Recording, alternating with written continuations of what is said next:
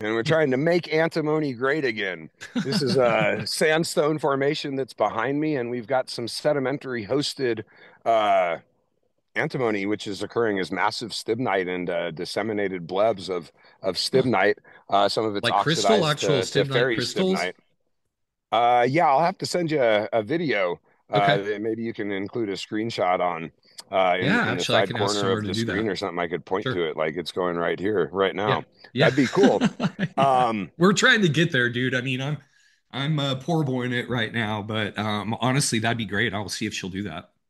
Yeah, and so uh, I'm out here. You know, there's been historic uh, antimony mining uh, since you know the colonial, or I should say, the pioneer times.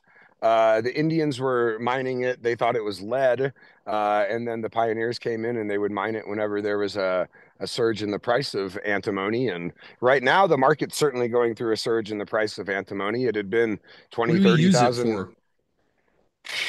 Uh, it's a it's a metalloid. It's a semi-metal. So like uh, alloys.